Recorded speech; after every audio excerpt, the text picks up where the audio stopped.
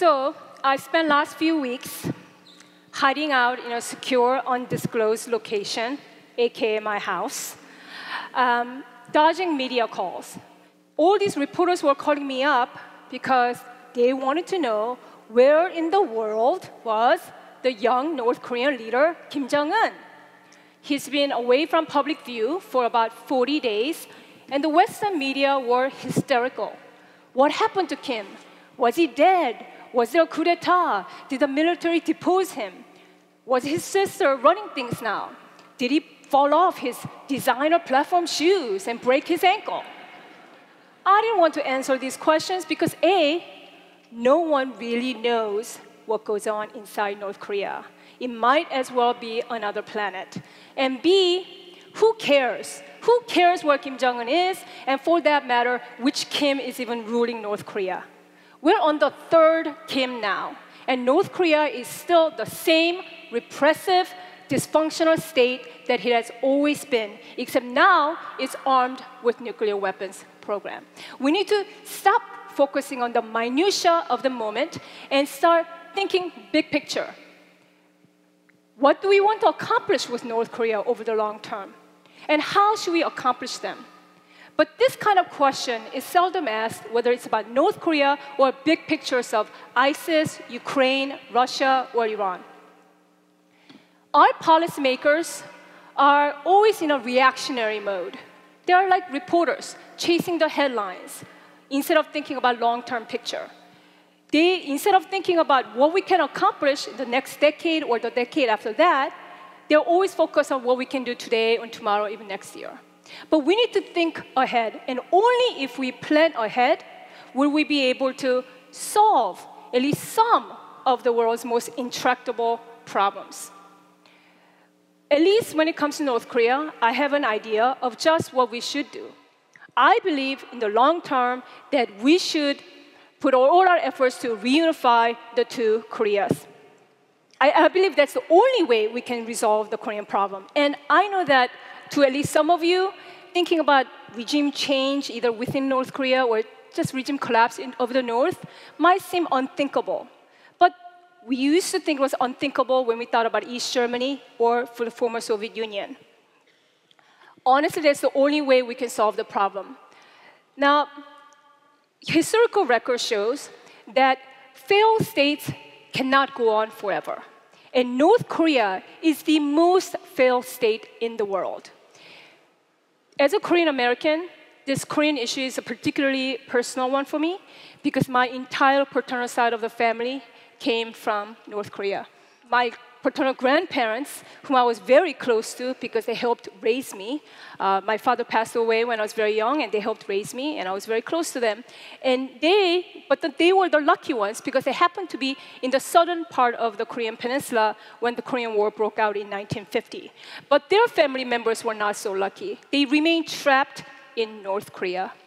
Um, and my grandparents, unfortunately, passed away without ever finding out what happened to their their family members, their moms, their dads, their brothers, their sisters, their uncles, and their aunts.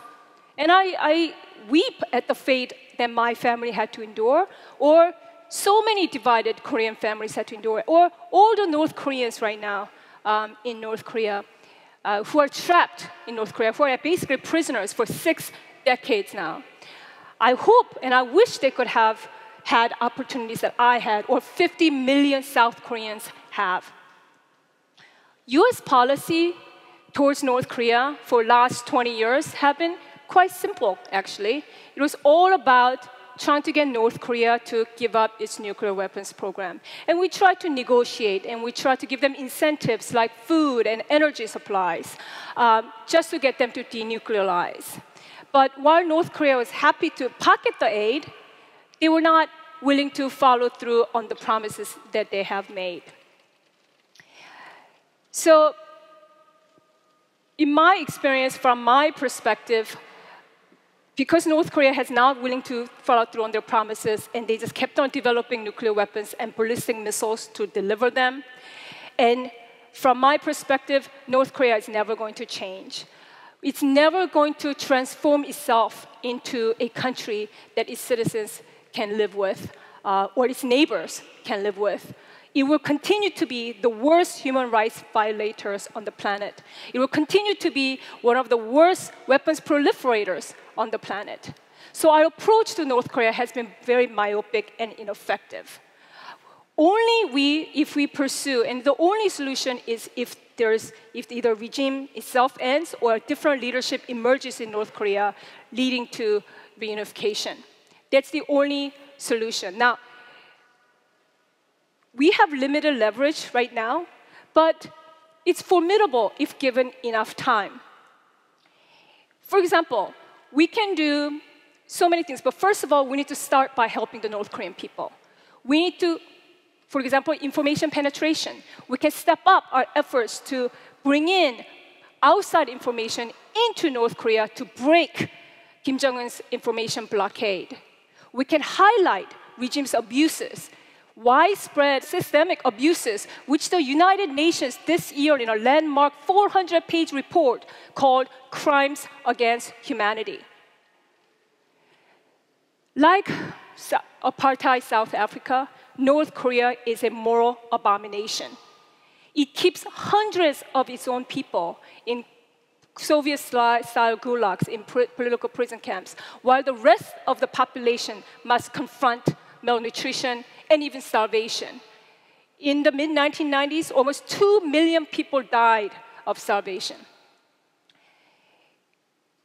Human rights problem in North Korea constitute a core threat, not only to the people of North Korea, but to peace and stability in the region. And I would argue that this problem is as of a threat to humanity than as North Korea's nuclear weapons program. Secondly, we should also continue to put economic pressure that's aimed at the elites, uh, particularly going after North Korea's illicit activities like smuggling and money laundering to cut off the fund that Kim Jong un uses to buy luxury goods and luxury cars and cognac and racehorses to get the elite support.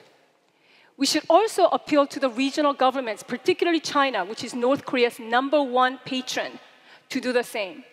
We know that China is not happy with North Korea. China is not happy with Kim Jong un, but China supports North Korea because it wants to keep North Korea as a buffer. It, it, wants to avoid instability on the border, and it wants to make sure that US forces don't go anywhere near the border. So we could make a deal with the Chinese. We could even offer them, say, we will reduce US presence on the Korean Peninsula or pull out all our troops in South Korea in case of unification if they stop subsidizing North Korea. Now, many of you might disagree with me. It's okay because many people do. Uh, you know, Koreans do, particularly the younger generation who are fearful of having to brunt all this financial cost of potential unification. Um, and when you look at the end of despotic regimes, it's always ugly, and it's true that there will be a lot of challenges and problems associated with the end of North Korea because it's a, such a desperate regime and such so militaristic regime. There will be chaos, there will be disorder, there could be humanitarian problems, there will be refugee flows, there will be even potentially challenge of trying to secure loose nuclear weapons. But I do believe that with enough planning and careful preparation, United States and South Korea and our allies will be able to manage these problems. And if we manage the unification correctly, in a right way, there's a potential for real upside here. A one Korea, whole and free. Imagine the benefit of freeing 25 million North, North Korean people from where they are. You can move, an average North Korean can Uh, get out of starvation diet, literally and intellectually, to the plentiful availability of food, information, resources, consumer goods, and other benefits of modern capitalism.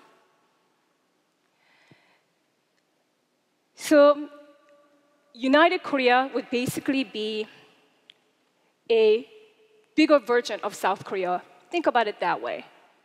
As free and even perhaps more prosperous unify Germany in Asia, potential economic powerhouse, and force for stability in the region.